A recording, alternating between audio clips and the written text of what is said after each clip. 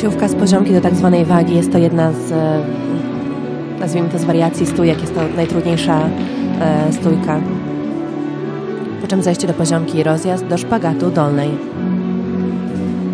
Przejście do siadu rozkrocznego i druga siłówka, tym razem do stójki.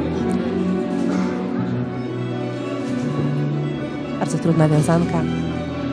Tym bardziej, że e, różnica wzrostu między zawodniczkami jest e, niewielka, tym trudniej wykonać te ćwiczenia i tym bardziej brawo. Elementy indywidualne.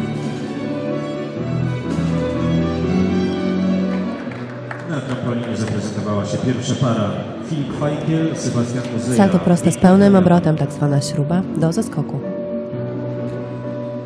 Jako druga para się Mateusz Łowicki, Szymon Woźny, Wiktoria Jabłon.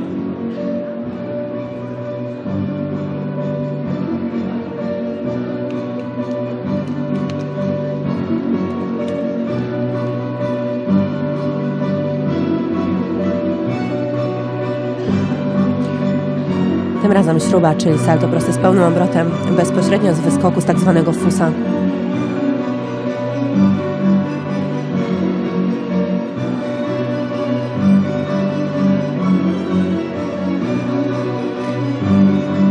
I poziomka górnej